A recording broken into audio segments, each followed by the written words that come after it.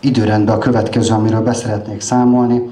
Egy híradás arról, hogy érdekes könyv jelenik meg a közeli napokban, 43. november 14-én, amely a zsidó származású keresztények helyzetével foglalkozik. Ez a könyv Éliás József a Samaritánus kérdés című könyve.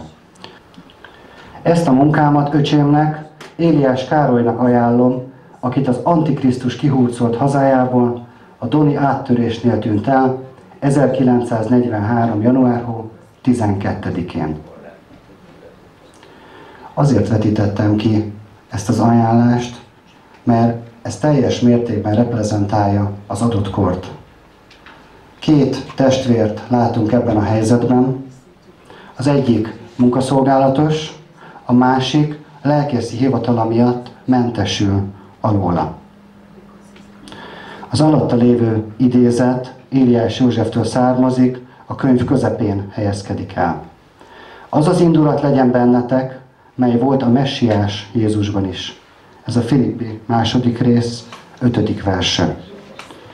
Azért szerettem volna megmutatni ezt az idézetet, mert 15 magyar nyelvű fordítást átnézve nem találtam hasonlót.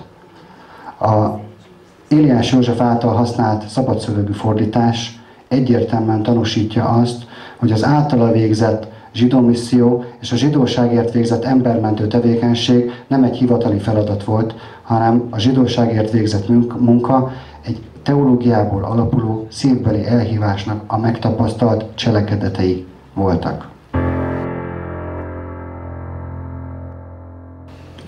A bizottság felosztását Éliás József négy szakaszra, munkájának felosztását Éliás József négy szakaszra bontotta. 1942 végétől, 43 elejétől, egészen 1944. március 19-ig, azaz a német megszállásig. A második szakasz a német megszállástól Szálaség hatalomra jutásáig tartott.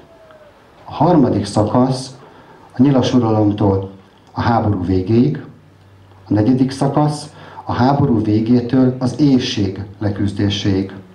Én egy plusz egy ötödik szakaszt is hozzátennék, 1946-tól 52-ig a Jópásztor Bizottság megszüntetéséig. Ez a szakasz az általuk végzett zsidó misszió egy önálló előadás témája is lehetne. A bizottság megalapításakor elsődleges feladat volt, hogy kapcsolatot vegyenek fel a hasonló jellegű egyházi szervezetekkel. Katolikus részről a Szent Kereszt Egyesülettel, melyet Kavalier József és Jánosi Páter vezetett, az izraelitákkal, ahol dr. Földes István volt a szolgált vezetője, az evangélikusok közül Kemény Lajos és Stéló Gábor. Beszámoló a Magyarországi Református Egyház Egyetemes Konventje Jópásztor Missziói Albizottságának működéséről.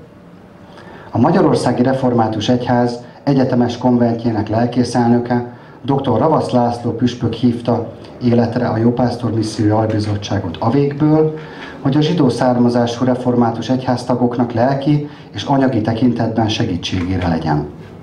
Szükségesé tette ezt a magyar kormánynak egy sereg olyan intézkedése, mely a németországi zsidó törvényeket sokszor a német intézkedéseken is túlmenő szigorúsággal valósult meg Magyarországon. 1938-ban az úgynevezett első zsidó törvény a zsidóságot a gazdasági életben számarányához mért korlátok közé szorította. De a zsidó származású keresztények nagy részét ekkor még nem érintette. Nagyméretű propaganda után 1939-ben az úgynevezett második zsidó törvényt hozta meg a törvényhozás, mely a zsidóságot csak nem minden téren megfosztotta tulajdonjogának gyakorlásától, magasabb képesítések elnyerésének, politikai jogok gyakorlásának lehetőségétől. A keresztény egyházak vezetői saját egyháztagjaik számára is alig tudtak valami kedvezményt elérni. A törvényt a további propaganda nyomása alatt az előirányzott mértéknél is szigorúbban hajtották végre. 1941-ben az úgynevezett fajvédelmi törvényt hozták, mely megtiltotta a zsidó származásúaknak nem zsidó származásúakkal való házasulását is. Itt már a zsidó származású keresztény egyháztagok életében is tragikus következményű bonyodalmak keletkeztek. A családi élet sok téren meghasonlott. E törvények következtében igen sokan követtek el öngyilkosságot. A zsidó származásúaknak és a zsidóknak kiküszöbölésére a hadsereg kötelékéből már előbb elkezdődött. 1942-ben azonban törvény is intézkedett róla. A zsidónak minősülő részén munkaszolgálatos táborokba, zsidókat minősülőket, elnézést, részén munkaszolgálatos táborokba osztották, részint, akik politikailag veszedelmesnek vagy gyanúsnak minősítettek, internáló táborokba küldték.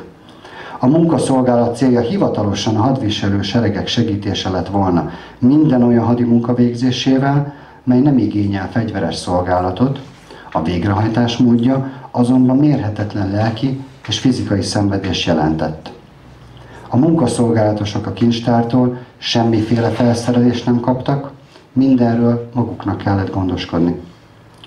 Ezek a munka alakulatok eleinte belföldön, később Ukrajnában teljesítettek szolgálatot, köztük igen sokan elfogult fellaboló visszaélésének és gyűlöletének kitéve szenvedtek, sokan meg is ölettek. Az első világháborúban megmaradt 3000 zsidó származású tisztet rangjától megfosztották, és munkaszolgálatos táborokba küldték. A zsidó származású keresztény munkaszolgálatosoknak a szenvedését még növelte is az a lelkű feszültség és megnyilvánuló ellenséges érzés, amivel őket a zsidó vallású munkaszolgálatosok körülvették. A zsidó jótékonyságú intézmények munkáját a kormány bizonyos mértékig megengedte, mivel azonban a keresztényeket keresztényeknek el nem ismerte, keresztény intézmények saját híveikre irányuló támogatása így több nehézségbe ütközött. Az internáló táborokba összegyűjtött zsidók és zsidó származású keresztények még ennél több szenvedésnek és gyötrelemnek voltak odavetve. Az internáltak és munkaszolgálatosok családtagjai elhagyatva és köztük az anyagilag kevésbé tehetősek nagy nyomorúságnak voltak kitéve. Ezek az intézkedések késztették arra Magyarország Református Egyház Egyetemes Konventjének elnökségét, hogy 1942. október 20-án zsidó származású egyház tagjainak pásztori és karitatív gondozására egy külön bizottságot küldjön ki. Ennek elnöke Muraközi Gyula, az Egyetemes Konvent missziói előadója lett. Az albizottság október 24-én tartotta alakuló ülését, megállapította munkatervét, mely szerint munkájának célja a Magyarországi Református Egyház területén zsidóságból áttért egyháztagok pásztori gondozása az egyetemes konvent irányítása mellett. Ez elsősorban lelki gondozás, másodszorban az arra rászorulók szociális és karitatív gondozása. A munkatáborokban, internáló táborokban élő egyháztagok, és itt maradt családjaik lelki gondozásának megszervezése az egyik feladat, a másik pedig adományokból mindazon egyháztagok segítése, akik akár munkatáborokban, akár itthon anyagi természetű támogatásra szorulnak. Az evangélikus egyház nem alakított külön bizottságot, hanem a maga képviselőjét a Jópásztor Bizottságba küldötte ki úgy, hogy a Jópásztor Bizottság fejlődése során az összes protestáns egyháztagokat, akiket az akkori törvények zsidónak minősítettek, gondozásába vette, sőt, a munkája természetszerűleg tovább nőtt odáig, hogy a zsidók közötti misszióban is szolgálnia kellett. A végső kialakulásában megalakulásakor a bizottság a következő volt. Elnök Muraközi Gyula, Budapest, Kálvin téri pásztor, konventi missziói előadó. Alelnök Kemény Lajos, budapesti evangélikus esperes. Igazgató lelkész Éliás József, református lelkész. Titkár dr. Kádár Imre, diakónus. Tagok. A lelkészi részről dr. Nagy Sándor, egyházkerületi tanácsos, Berecki Albert budapesti református lelkész, egyházkerületi missziói előadó, Sebestyén Andor budapesti lelkész, az egyházmegye missziói előadója, Dobos Károly budapesti lelkész, Stéló Gábor evangélikus misszió lelkész és dr. Nagy Lajos lelkész, a Budapesti Skót misszió segédlelkésze. B. Nem lelkészülésről dr. Benkó Ferenc nyugalmazott államtitkár, dr. Kárpáti Géza törvényszéki bíró, Cserépi Zoltán kultuszminisztérium előadó, Török Sándor író. C.